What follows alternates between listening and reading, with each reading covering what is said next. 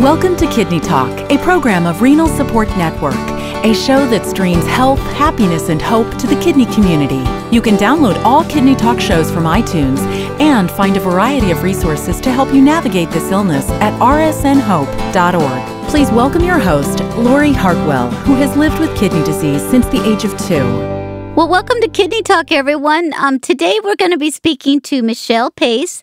She is a registered nurse and she is a manager uh, and kidney care advocate for Fresenius Medical Care. And today we're going to be talking about home dialysis. So, welcome to the show, Michelle. Thanks, thanks so much for having me. So, um, tell us a little bit about how did you get into the kidney world?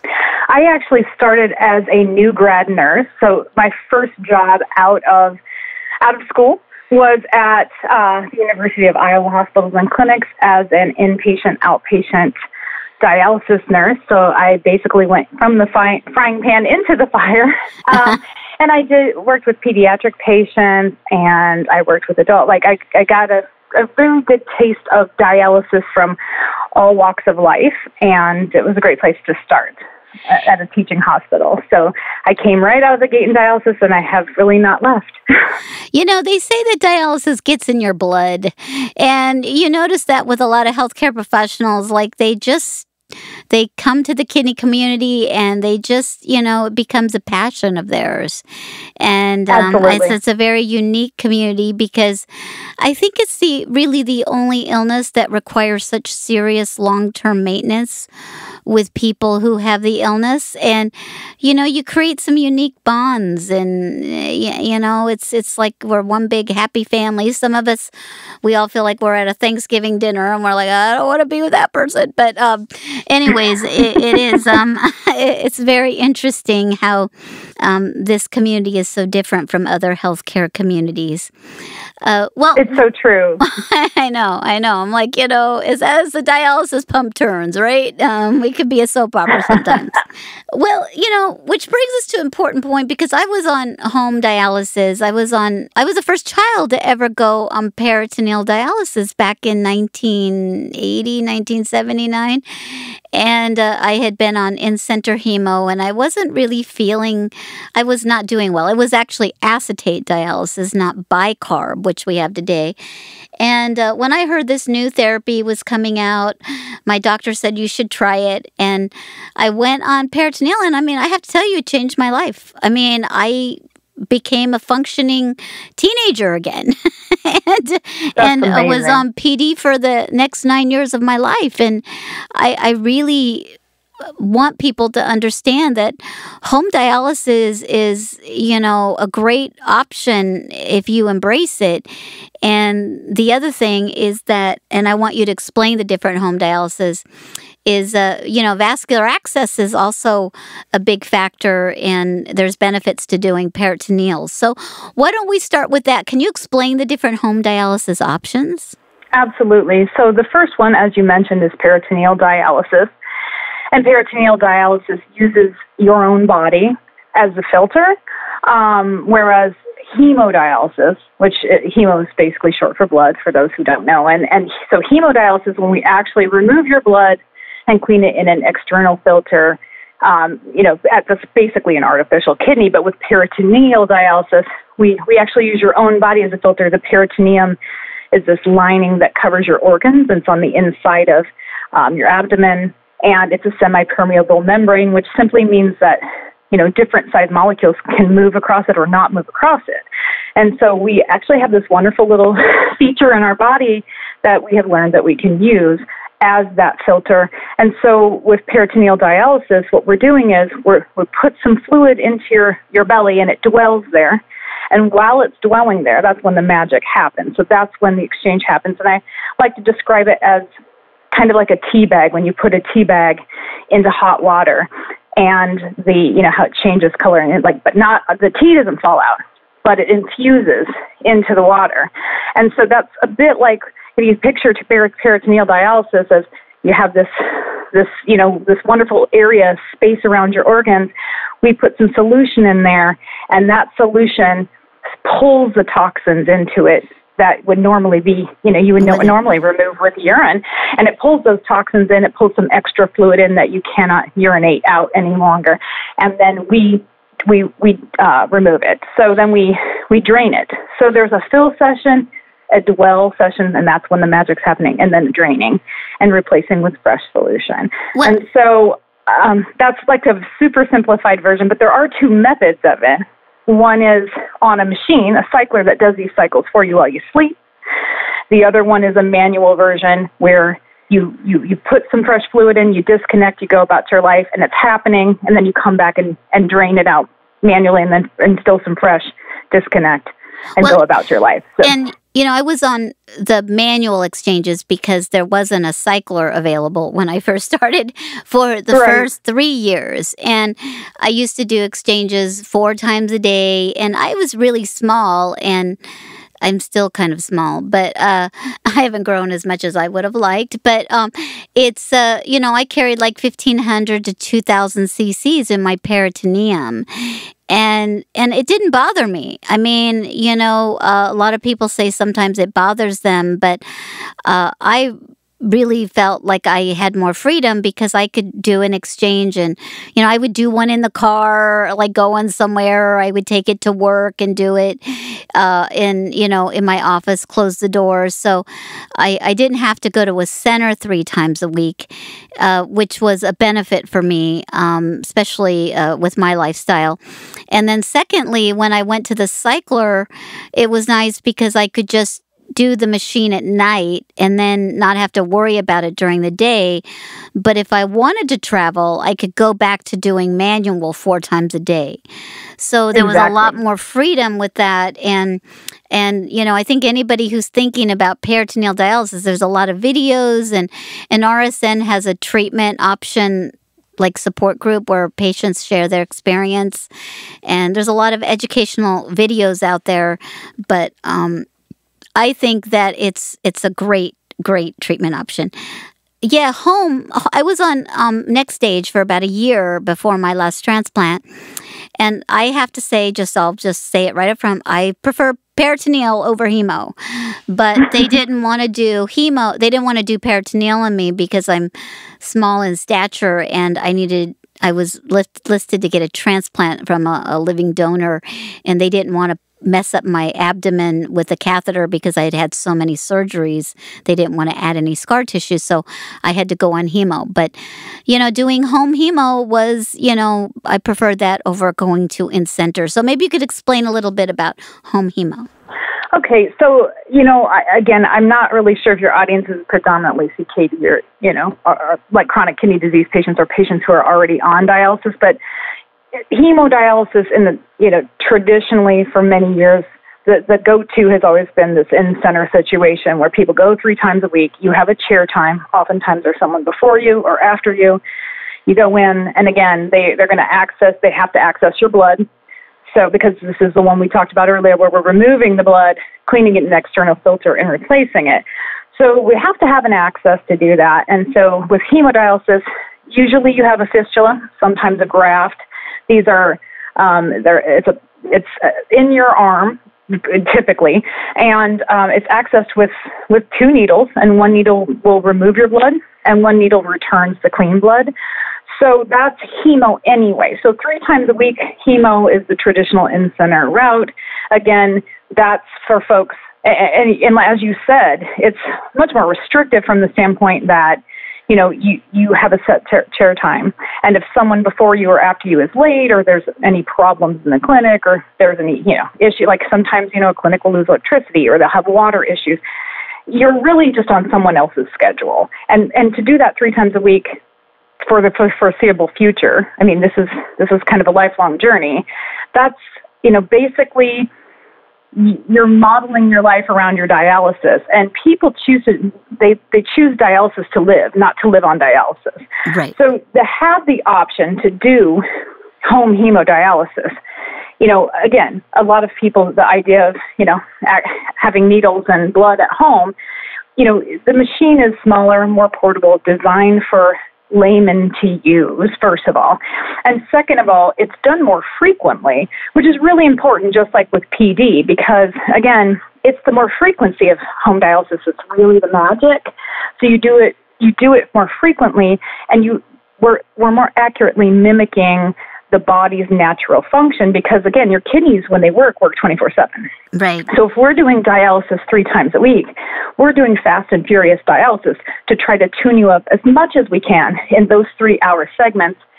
And that's that's really hard on the body. The body's always trying to maintain that equilibrium. So the body's just has almost like a dialysis hangover. I see it many times. Many patients go home and say, you know, I sleep all day. I know. Or I, I sleep had for that. hours after treatment. I'm yeah, like, I feel like I was thrown in a washing machine and came out the other end.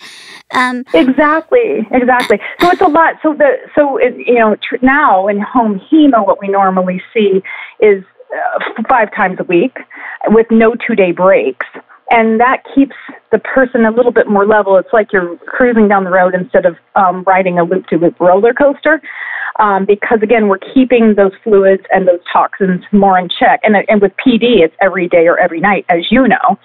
So that again, more, much more mimics what the kidneys were doing. And people wake up and they don't have recovery time, or they do their treatments and they typically don't have this exhausted feeling because it's gentler. When we do it more frequently, Yeah. we're, we're it's a much more gentle process. Well, so not only do they have more convenience, but they also tend to feel better as well. Um, these patients, and they have less hospitalization. Well, when I was on in center hemo when I was a kid, you know, I was, uh, what was I? I was 12, 13, 14. I had no kidneys and I was like four foot 10 and nine, maybe, maybe eight. I don't know. I'm going to say nine. Uh, and I didn't really you know, wasn't able to drink a lot based on my body size. And, you know, that's really hard to do when you're going three times a week. And sometimes I would drink too much. And, you know, you just say, oh, I'm going to have a bite of, I'm going to eat that Chinese food because it sounds so good. And then you suffer because you have to drink water because you've consumed too much sodium. And then the treatment is really hard because you have to take the fluid off or it's bad on your heart. And when I went on PD, I was getting dialysis all the time. In fact, I was unusual. I had to eat a little bit more salt when I was on PD, and I had to make sure I drank enough because I was used to not drinking. So I had to, like, oh my God, I got to drink something. Um, and I trained my body not to. So I love the aspect of being more, you know, my diet being more liberal, and my fluid, my fluid being more liberal. Um, can you tell us a little bit about how long training takes for each treatment? So for PD, uh, we we do really like to teach both methods, and the reason for that is that you know should you lose electricity or have a machine malfunction or something of that nature, for PD for that cycler that you know you the one you hook up at night, if something happens to that machine, you know we we can get you a new machine usually within 24 hours, but it's nice to know that it, you know if there were like like in Iowa right now, you know, they had a bunch of storms that blew down like all the power in some areas. Um, like the whole city was out without power for multiple days. In those circumstances, those patients can do peritoneal manually. They can do those manual exchanges. They don't need electricity to do that. It's all gravity based. They, you know, it's you hang a bag and it drains into you with gravity. There's no pump or anything like that. And when you're draining it out, the bag goes on the ground. It literally drains out with gravity. So we want you to have that backup method. Uh, so we will train folks. Usually takes about, you know, it, it does vary by person. Obviously, some people are going to pick it up very quickly, or some people, you know, it, there are variables. But seven to 14 days for training is the average, and that would be oftentimes they'll train you one method, have you go do that for you know a month, and then bring you back and train you the other method. So um, that, but that is uh, that is how that's done. So it's a it's a pretty quick turnaround because it's a it is the process is pretty straightforward. And you just have to have a catheter put in your stomach. You don't need a access. I mean, a Right, catheter that in your heals peritoneum. quickly. Exactly. You know, typically it takes two weeks, sometimes three weeks if you're diabetic and you're having, you know, some, some folks have a little more t- trouble healing. But two to three weeks is kind of the national average. So for having that PD catheter placed and giving it a chance to kind of settle down and, you know, and then, then we'll bring in it and flush. And if that works, it's usable. Um, you know, again, some people actually can do urgent start in some areas where they can put a catheter in and, and pretty much use it right away um, but they'll, you know, oftentimes have them lay down and just be sure everything's okay because it's, you know, it's a little bit of a more critical situation, and those folks tend to be more uremic if they're having that done, which means the toxins have kind of built up and they're really not feeling all that well. So they can't really train yet, but we want we don't want to use hemo if we don't need to on those patients. So we can, you know, in some areas do that. Uh, we really do. Again, if we have patients that are formulating a plan before they start dialysis, they know what's coming. Maybe they're being followed by a nephrologist we love to have people plan ahead. If you know PD is something you're interested in, speak with your nephrologist because you can have that in place ahead of time so that it's not a situation where it has to be put in urgently since well, it does take two to three weeks. It's often a little challenging. We have some people who come to our support groups and stuff, and you know, I'd say like ten percent are like, okay, I got a plan for this. The other ones are like in denial and can't think of anything. Like I'm never gonna have to go on dialysis. So it's uh, right. uh, it's you know, it's hard to kind of be prepared, but it's important. But you know, the shock, denial, fear, anger, depression, grief, and then finally understanding sure. acceptance. It's it's hard to, um, but it's better if you can take control of the situation right. for sure. Um, I want to talk a little bit about um, so hemodialysis training, uh, uh, home hemo. Um, can you talk a little bit about that and what it takes sure to get can. home? Absolutely. And hemodialysis first of all, no matter, no matter whether you do home hemo or whether you do in center hemo, having they, they, if you're planning ahead again and you're sure that's the route you want to go, the physician will be talking to you about an access prior to dialysis because it takes some time for a fistula to mature and be ready to use. And that's actually a little more time consuming than having a PD catheter put in because what they do is to create a fistula is they go in and they take a vein and artery, you know, and join your own vein and artery, and you have this. I call it a super vein that you have that you know is is can tolerate having those needles right. during your treatment. Well, and and then the dialysis catheter, hemocatheter. Uh, a lot of people, if they have an urgent start, they start with a catheter in their chest or neck, and right. you know but that's, that's always considered a temporary. I, I know it's temporary, yeah. but I know people have had them longer than temporary because they don't want to get rid of them. But it is the highest right. cause of mortality out there. Everybody. Yes, they're very. They're. I mean, they sit right in your heart, and and and of course they're open to the outside because they're outside your body, so you can access it. So if you think about it, anytime there's a break in the skin, there's an infection risk, and then knowing that that catheter, the tip of that catheter, is sitting down in your heart should it get infected, you're talking about the pump of your whole body being infected. So, you know, you can unfortunately get very sick very quickly. And, and there is a very, I mean, unfortunately, they have the highest infection rate of all accesses. So we really encourage folks to, if they put one in you, understand that your physician's already formulating a plan to get it out because it's meant to be temporary. It's, we just want our patients to be successful we want to, and, and you can't shower with it and you can't do this and that. It's just because we don't want to getting wet because of that infection risk. So it, it's, it's very limiting to like a, a regular lifestyle for a lot yeah. of folks too. Well, I, so I've had, a, I've had, um, you know, I have a cautionary tale of a friend who was afraid to get rid of it. She was, uh, um, and she died because of it because yeah. she got an I, infection that came. I mean, we've heard these stories, and you think you're not won't be the statistic, but the statistics are out there for a reason because they, it's it's very um, it's very dangerous, and um, right. But uh, but so I true. also I also understand the fear of being stuck.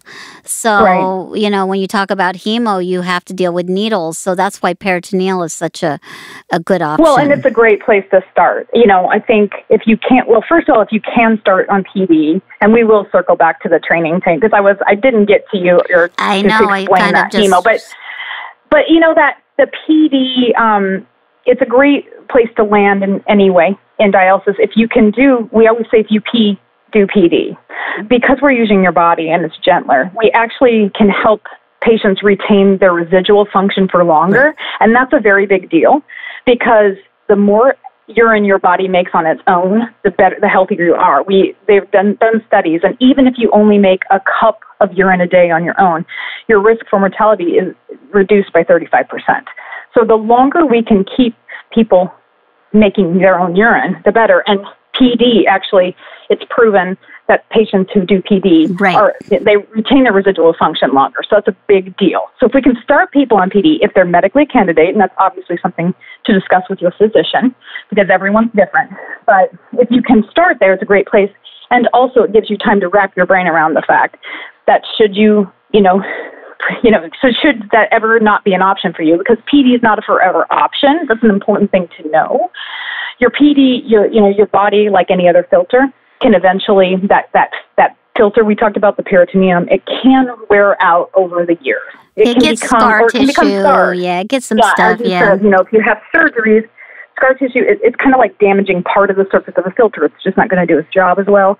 So, it, so, as you said, you were on it for years. Some people can do it for many, many years, but it's not a forever solution. So it's important to realize that through your dialysis journey or through your life as a kidney patient, your how you how you treat may look different over the years, and that's that's okay. But it's a great place to start because it does give people more time to wrap kind of wrap their brain around that that you know need to cannulate, which is a fancy word for sticking Self, sticking yeah. that access.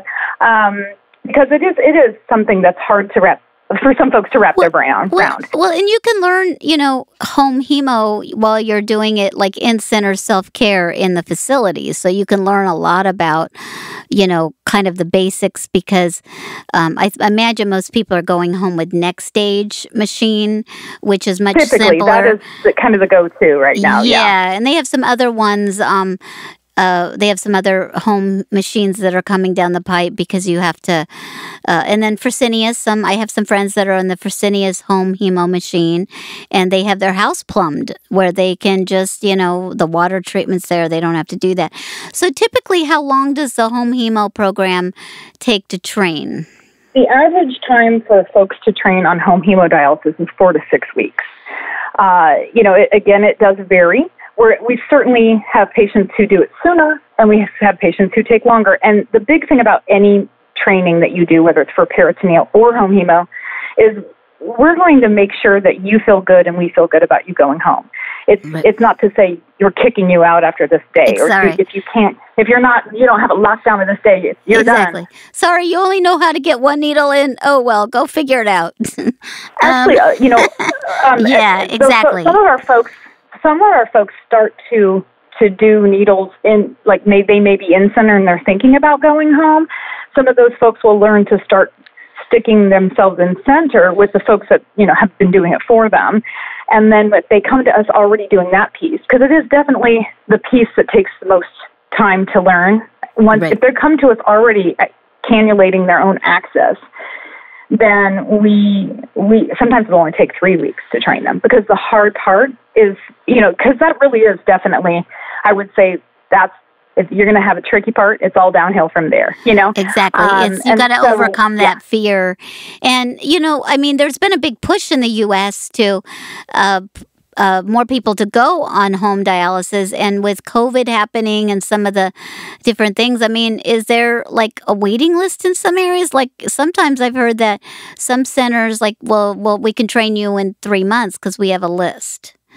Is that the reality? Because it, it it is in some markets. Um, you know, we do. You have to have training nurses who are qualified to train you, and we you have to have a room that's certified for home hemo. And so there right now we're obviously we're always building that infrastructure uh, to make it a bigger to make a to make to be able to accommodate more and more patients because there is a huge push for for home dialysis because we know it's better for patients and because you know, we want patients to be in the very best situation. Well, you know, and that's just insane that, you know, here you have an in-center hemo place and but you need to be regulatory certified for home.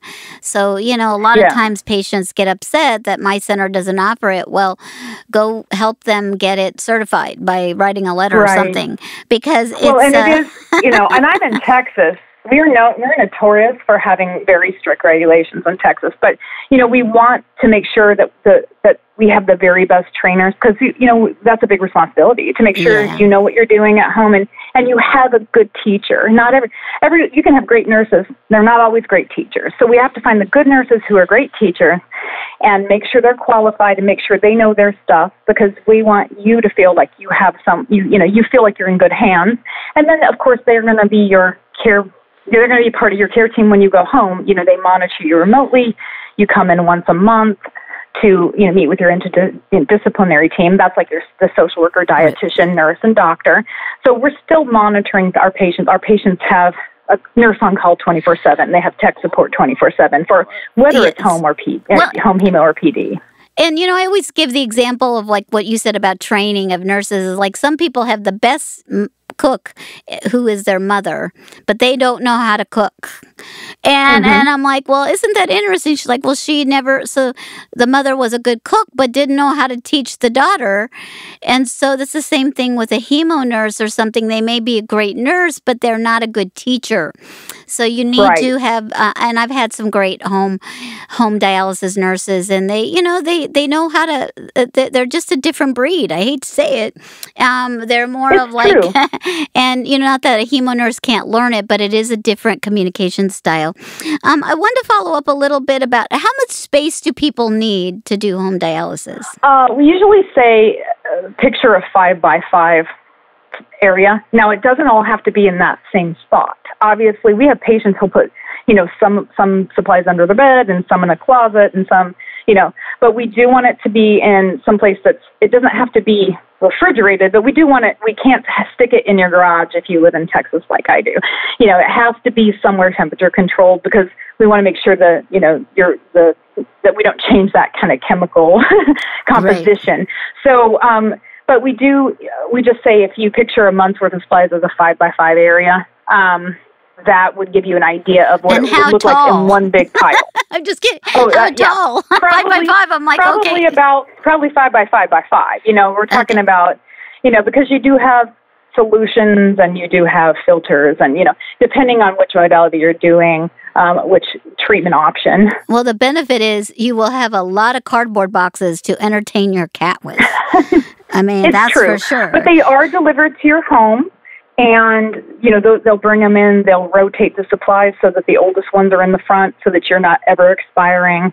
You know, we have it comes to you, and, and and and the patients are taught how to to schedule that so it's at a time that's convenient to have it delivered for them. You know, it's we want everybody to have everything they need to be successful.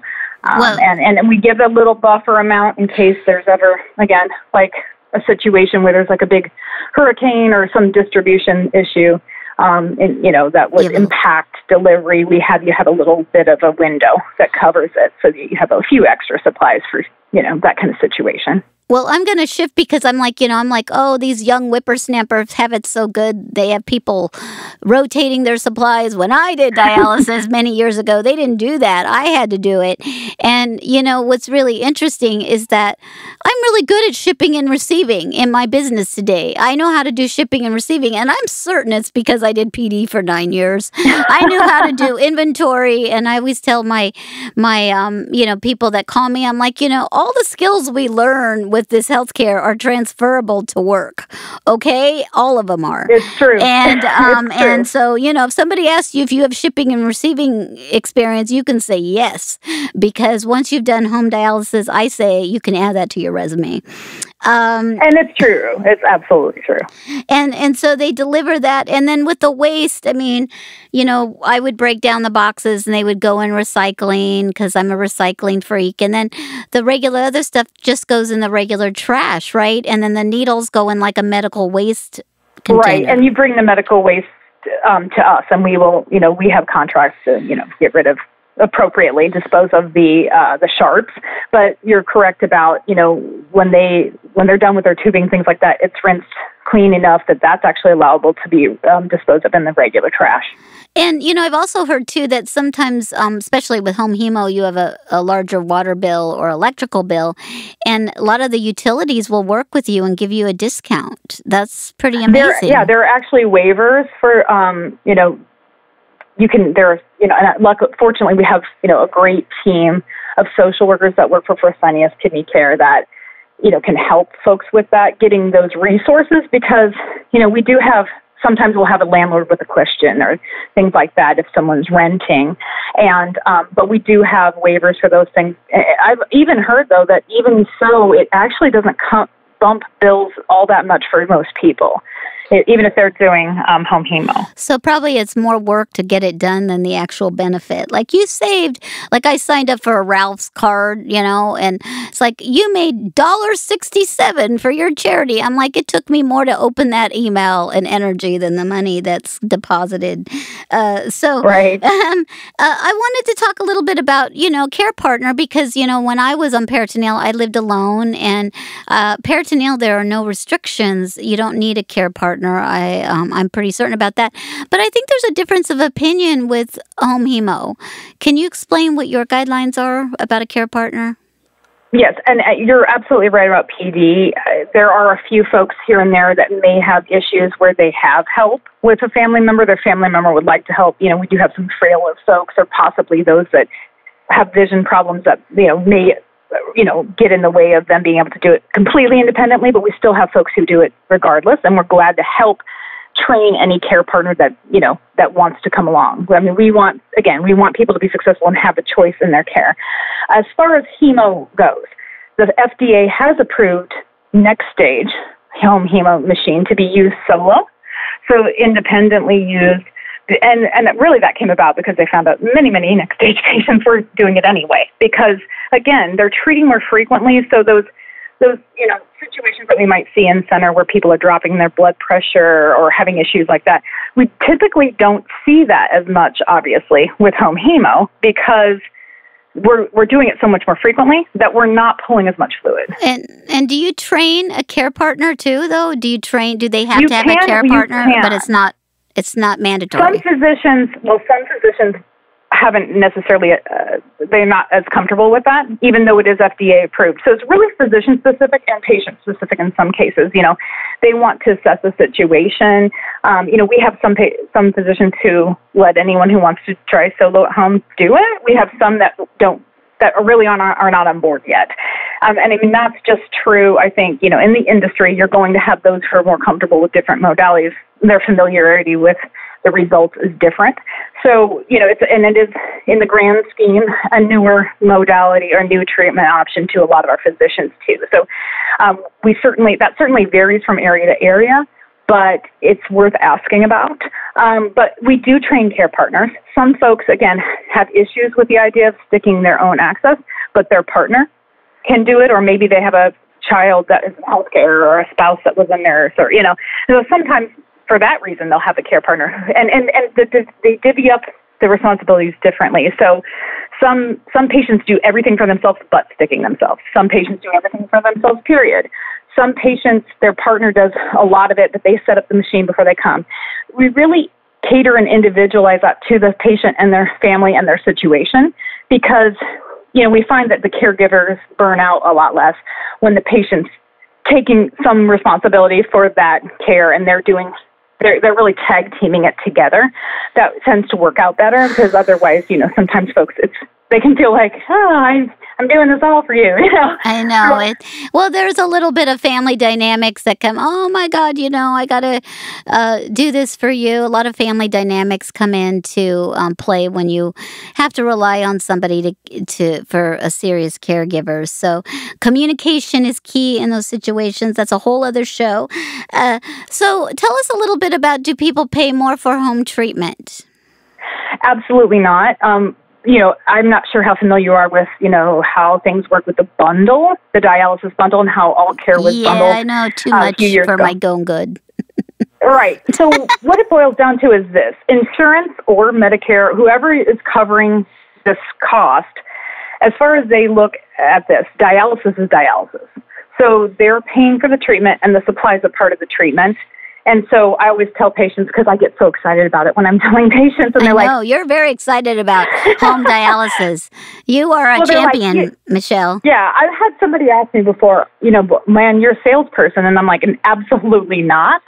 I, this is not one of those situations where it's an upsell or oh for 19.95 more. Nothing like that. It's it's just another yeah. option. It's just another way of supplementing that kidney function that you need to help keep you help, healthy and, and feeling good and alive. Passionate. I mean, passionate. We need passionate nurses, and um, I do believe um, that you know coordinating care is quicker with home dialysis. So you actually your Medicare becomes um, available, you know, the first day you start instead of that coordinating of, I forget, is it 90 days? Yeah, and it can usually be retroed back if you start within, so, you know, within so much time. So even if right. you, know, you end up in the hospital for a treatment, but you go home shortly after, they can that there are some benefits to that, and, as, and especially as you said before, the United States is really having this movement to go more toward home therapies.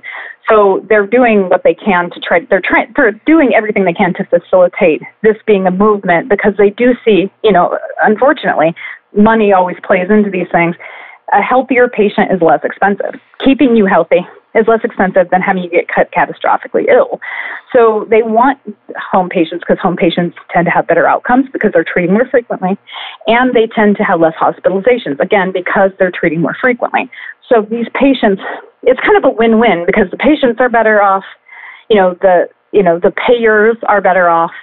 Um, it, that it is, you know, most developed countries have been doing this for a very long time. Where right. you know the United States is is kind of a flip model of what you're seeing so many other places, and you know the statistics don't lie. And so we really need patients to just understand. Like if you choose to be in an in-center chair, I just want to make sure that's an educated decision. Well, so well, my we, job is to come out and teach you about your choices. We you say know? we say you know we're we're the United States and we give people choices.